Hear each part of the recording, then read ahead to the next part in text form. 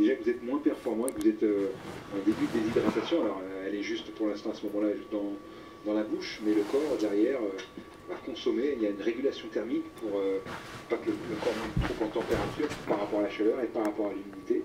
Donc tout ça, il faut, l'anticiper et boire régulièrement.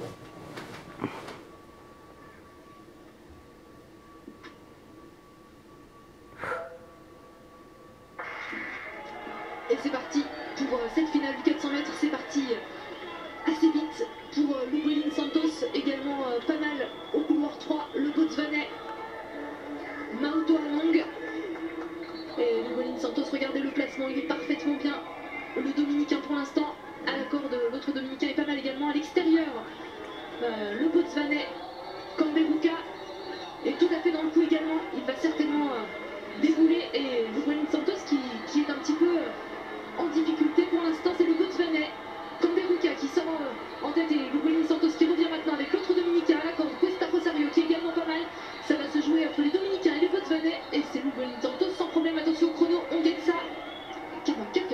enfin, il est passé